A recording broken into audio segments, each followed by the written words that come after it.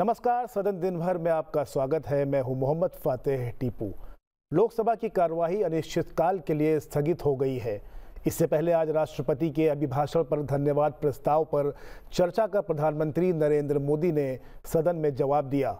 उन्होंने एक और मौका देने के लिए जनता का आभार जताया। कांग्रेस और उसके साथी दलों की आलोचना की। राज्यसभा में राष्ट्रपति के अभिभाषण पर धन्यवाद प्रस्ताव पर चर्चा आज भी जारी रही। इस बुलेटिन में अगले आधे घंटे में देखेंगे दोनों सदनों में आज क्या कुछ रहा खास, लेकिन सबसे पहले नज़र सुर्खियों पर। लोकसभा में प्रधानमंत्री नरेंद्र मोदी ने राष्ट्रपति के अभिभाषण पर धन्यवाद प्रस्ताव पर चर्चा का दिया जवाब। कहा, देश की जनता ने उनकी नीतियों, नियत और निष्ठा पर जताया भरोसा। विकसित भारत के निर्माण की ओर बढ़ रहा है देश। प्रधानमंत्री ने संविधान आरक्षण हिंदुओं के मुद्दे पर कांग्रेस को घेरा। कहा, कांग्रेस देश में गलत इरादे से फैला रही है, अराजकता और झूठ। इतिहास में तीसरी सबसे बड़ी हार के बाद भी जनादेश को नहीं समझ रही है कांग्रेस। राष्ट्रपति के अभिभाषण पर धन्यवाद प्रस्ताव पर चर्चा के बाद लोकसभा की कार्यवाही अनिश्चितकाल के लिए स्थगित। 18वीं लोकसभा के पहले सत्र की उत्पादकता सौ फ़ीसदी से अधिक। राजनाथ सिंह की ओर से लाए गए विपक्ष के व्यवहार की निंदा का प्रस्ताव पारित। राज्यसभा में राष्ट्रपति के अभिभाषण पर धन्यवाद प्रस्ताव पर चर्चा। विभिन्न दलों के सदस्यों ने बहस में लिया हिस्सा। सभापति जगदीप धनखड़ ने तीन नए सदस्यों को दिलाई सदन की सदस्यता की शपथ।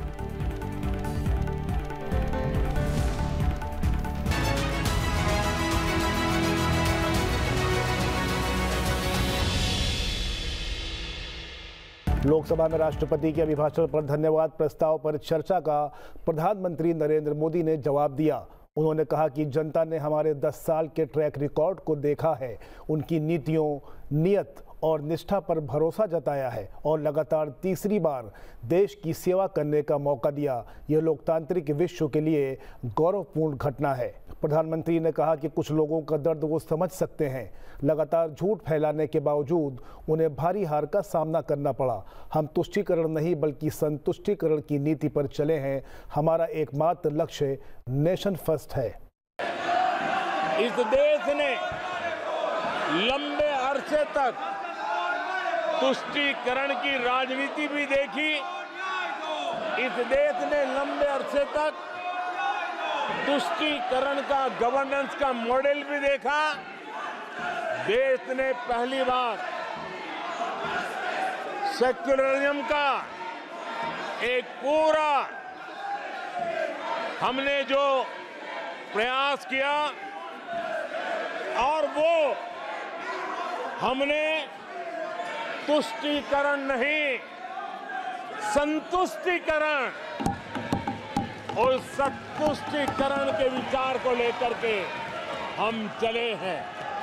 और जब हम संतुष्टिकरण की बात करते हैं तो इसका मतलब है कि हर योजना का सेचुरेशन, गवर्नर, गवर्नेंस की आखिरी व्यक्ति तक पहुँचने की हमारी जो संकल्पना है इसको परिपूर्ण करना।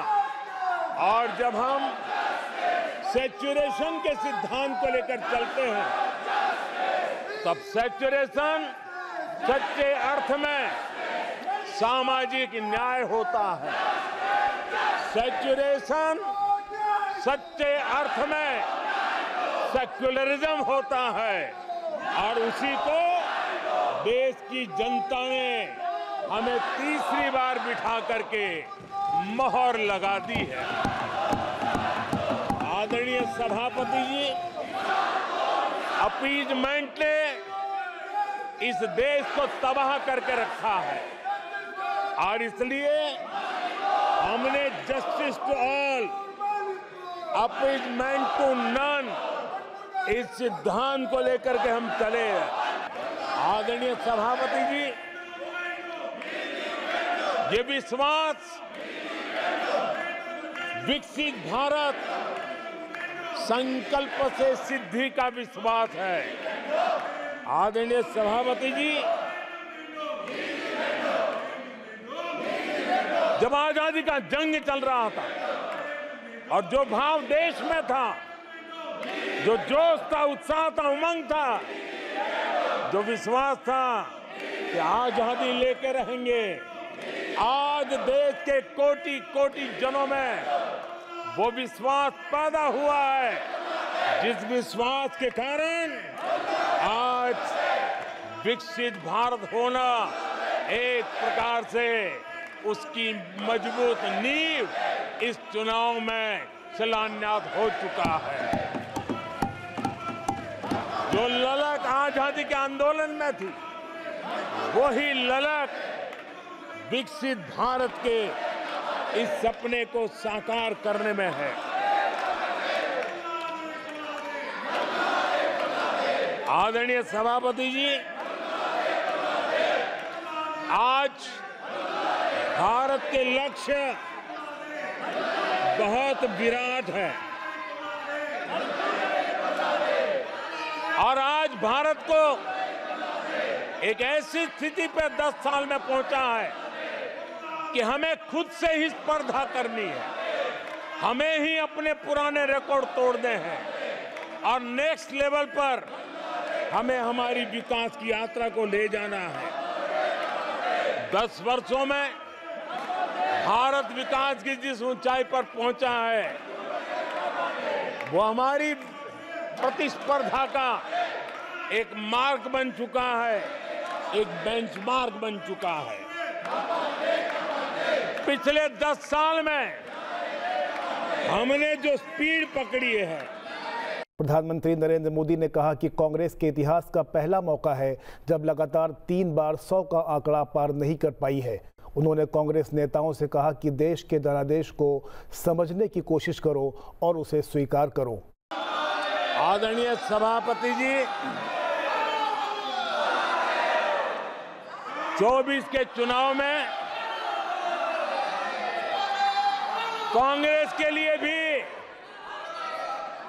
इस देश की जनता ने जनादेश दिया है। और इस देश की जनादेश है कि आप वहीं बैठिए।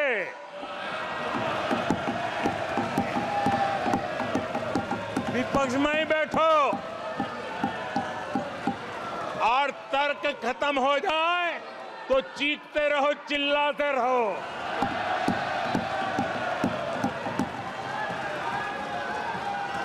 आदरणीय सभापति जी, कांग्रेस के इतिहास का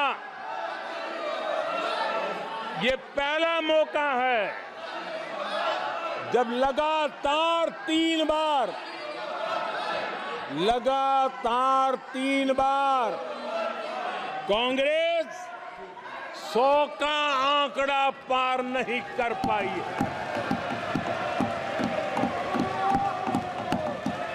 कांग्रेस के इतिहास में ये तीसरी सबसे बड़ी हार है। तीसरा सबसे खराब प्रदर्शन है। अच्छा होता, कांग्रेस अपनी हार स्वीकार करती, जनता जनार्दन के आदेश को सर आँखों पर चढ़ाती, आत्ममंथन करती। लेकिन ये तो कुछ शीर्षासन करने में लगे हुए हैं।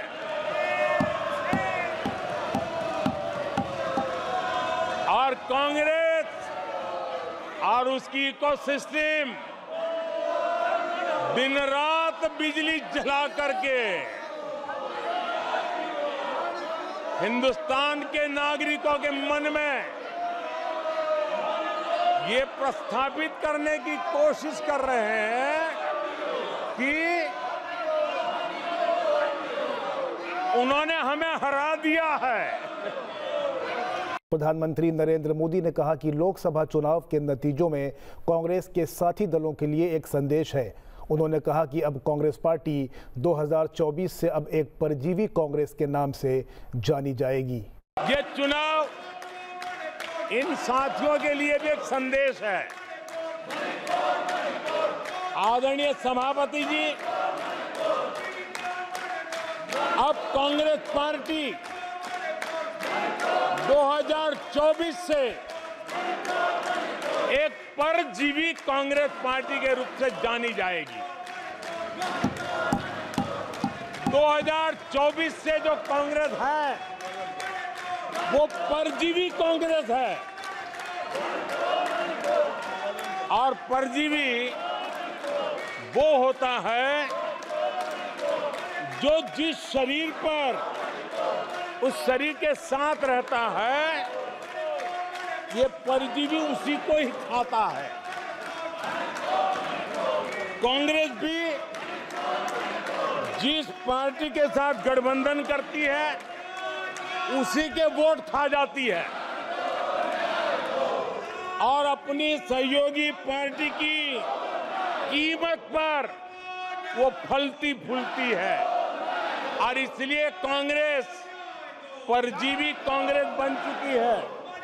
पेपर लीक मामले पर प्रधानमंत्री नरेंद्र मोदी ने कहा कि सरकार ऐसी घटनाओं को रोकने के लिए अत्यंत गंभीर है और युद्ध स्तर पर कदम उठाए जा रहे हैं। भविष्य के साथ खिलवाड़ करने वालों को छोड़ा नहीं जाएगा। आदरणीय राष्ट्रपति महोदय ने अपने उद्घोषण में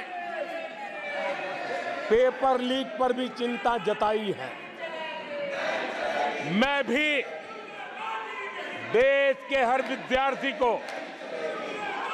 देश के हर नौजवानों को कहूँगा कि सरकार ऐसी घटनाओं को रोकने के लिए अत्यंत गंभीर है और युद्ध स्तर पर हम अपनी जिम्मेवारियों को पूरा करने के लिए एक के बाद एक कदम उठा रहे हैं। युवाओं के भविष्य के साथ खिलवाड़ करने वालों को कतई छोड़ा नहीं जाएगा। नीट के मामले में पूरे देश में लगातार गिरफ्तारियाँ की जा रही है। केंद्र सरकार पहले ही एक कड़ा कानून बना चुकी है। परीक्षा कराने वाले पूरे सिस्टम को पुख्ता करने के लिए ज़रूरी कदम उठाए जा रहे हैं। प्रधानमंत्री ने कहा कि कांग्रेस सत्ता में रहते हुए सेना को कमज़ोर कर रही है, लेकिन विपक्ष में भी जाने के बाद ये प्रयास जारी रहा है। उन्होंने कहा कि अग्निवीर के मुद्दे पर भी लोगों को गुमराह करने का प्रयास विपक्ष कर रहा है। और आदरणीय सभापति जी, ये बालक बुद्धि देखिए कि राफेल के छोटे छोटे खिलौने बना करके उड़ाने में मज़ा लेते थे। देश की सेना का मज़ाक उड़ाते थे। अध्यक्ष जी, कांग्रेस ऐसे हर कदम का, हर रिफॉर्म का विरोध करती है, जो भारत की सेना को मजबूती दे, भारत की सेना को मज़बूत बनाए।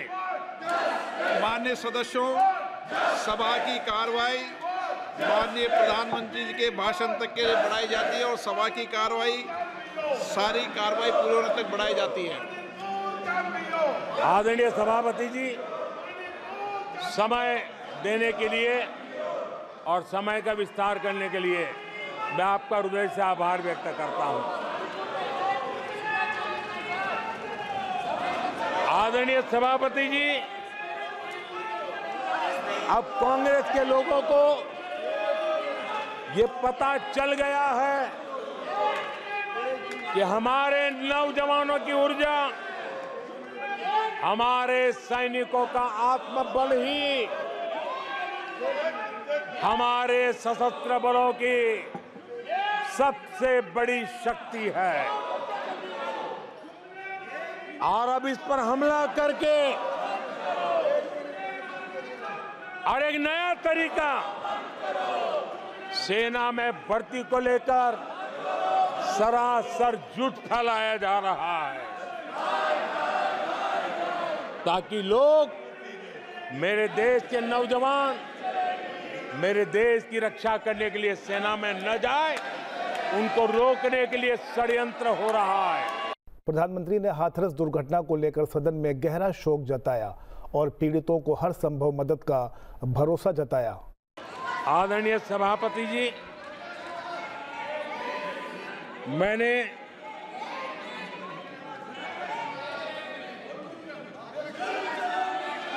आदरणीय सभापति जी, इस समय चर्चा के बीच अभी मुझे एक दुखद खबर भी दी गई है। यूपी के हाथरस में जो भगदड़ हुई, उसमें अनेकों लोगों की दुखद मृत्यु होने की जानकारी आ रही है। जिन लोगों की इस हादसे में जान गई है, मैं उनके प्रति अपनी संवेदना व्यक्त करता हूँ। मैं सभी घायलों के जल्द से जल्द ठीक होने की कामना करता हूँ। राज्य सरकार की देखरेख में प्रशासन राहत और बचाव कार्य में जुटा हुआ है।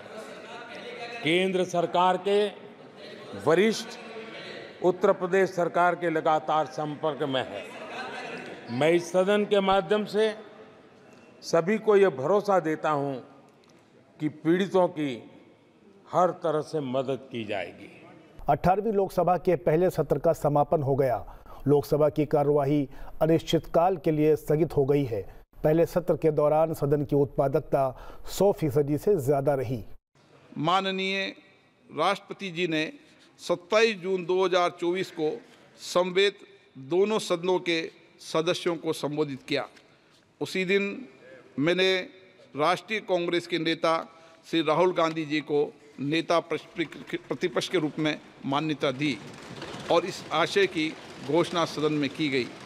कल और आज 18 घंटे से अधिक चर्चा के बाद सदन ने माननीय महामहिम राष्ट्रपति जी के अभिभाषण पर धन्यवाद प्रस्ताव को पारित किया।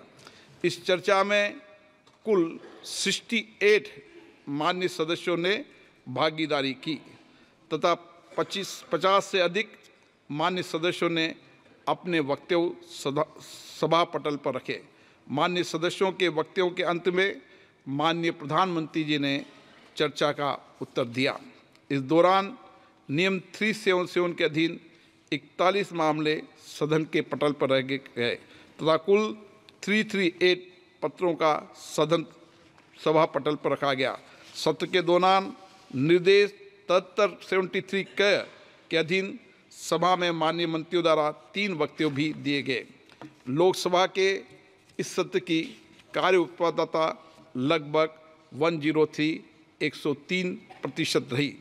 मान्य सदस्यगण, में सत्र के प्रारंभिक दिनों में सदन में कुशल संचालन के लिए अट्ठारहवीं लोकसभा के नवनिर्वाचित सदस्यों को शपथ अथा प्रतिज्ञान कराने के लिए माननीय राष्ट्रपति जी द्वारा नियुक्त प्रोटेम स्पीकर श्री भर्तृवी मेहताब तथा सभापति पालिका के सदस्यों का हार्दिक आभार व्यक्त करता हूँ। मैं सभापति तालिका में शामिल, अपने माननीय साथियों का सदन के संचालन में इनके सहयोग के लिए और योगदान के लिए भी आभार व्यक्त करता हूँ। मैं माननीय प्रधानमंत्री जी, माननीय संसदीय कार्य मंत्री सभी माननीय मंत्रीगण, नेता प्रतिपक्ष, विभिन्न दलों के नेताओं और मान्य सदस्यों के प्रति भी उनके सहयोग के लिए अत्यधिक आभारी हूँ। मैं आप सभी की ओर से प्रेस और मीडिया के मित्रों का धन्यवाद करता हूँ। लोकसभा में राष्ट्रपति के अभिभाषण पर धन्यवाद प्रस्ताव पर चर्चा के दौरान विपक्ष के व्यवहार को लेकर रक्षा मंत्री राजनाथ सिंह ने निंदा प्रस्ताव पेश किया। इस प्रस्ताव का गृह मंत्री अमित शाह ने अनुमोदन किया। इसके बाद इस प्रस्ताव को ध्वनिमत से पारित कर दिया गया। राष्ट्रपति जी के अभिभाषण के दौरान धन्यवाद प्रस्ताव पर जब चर्चा हो रही थी, उस समय जब प्रधानमंत्री जी का संबोधन चल रहा था, जिस प्रकार से विपक्ष के द्वारा संसदीय मर्यादाओं का लगातार तार तार जिस तरीके से किया गया है, मैं यह प्रस्ताव करता हूँ कि इस कृत्य की यह पूरी, पूरा सदन भर्सना करता है। मैंने सभी मान्य सदस्यों को पर्याप्त समय, पर्याप्त अवसर दिया। सभी दलों को देर रात्रि तक बोलने का अवसर दिया। प्रतिपक्ष के नेता को 90 मिनट से ज़्यादा बोलने का अवसर दिया। लेकिन मान्य सदस्य, ये संसदीय परंपराओं के अनुरूप नहीं है। ये आपका आचरण, ये आपका व्यवहार, न तो संसदीय आचरण के अनुकूल है न देश के लोकतंत्र के लिए उचित है। गृह मंत्री जी। मान्यवर रक्षा मंत्री जी ने एक प्रस्ताव रखा है। इसका मैं अनुमोदन करता हूँ और आपसे आग्रह करता हूँ कि इसको सदन के सामने रखा जाए स्वीकृत करने के लिए। प्रश्न ये कि प्रस्तुत प्रस्ताव को स्वीकृत किया जाए। जो सदस्य प्रस्ताव के पक्ष में हाँ कहें जो सदस्य प्रस्ताव के ना कहें मेरे विचार में निर्णय हाँ वालों के पक्ष में हुआ हाँ वालों के पक्ष हुआ, प्रस्ताव स्वीकृत हुआ।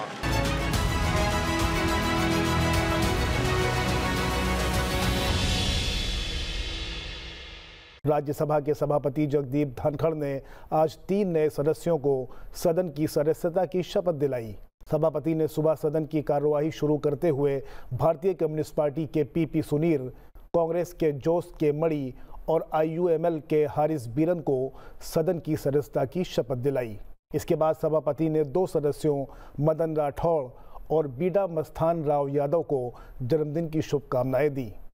सभापति ने सदन के पटल पर आवश्यक दस्तावेज़ रखवाए, जिसमें वित्त और जल शक्ति मंत्रालय समेत कई मंत्रालयों से जुड़े पत्र सभा के पटल पर रखे गए।